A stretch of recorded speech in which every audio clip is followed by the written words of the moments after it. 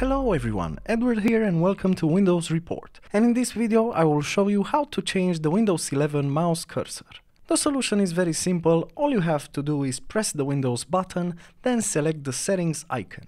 Then in the settings menu make sure to select the accessibility option from the left pane and then on the right pane click on the mouse pointer and touch button. In here you have multiple customizations such as the mouser pointer styles for which you can choose different colors as well. And if you have a hard time seeing your mouse pointer, you can also select various sizes that will help you see the mouse pointer better. So yeah, pretty much that's all there is to it.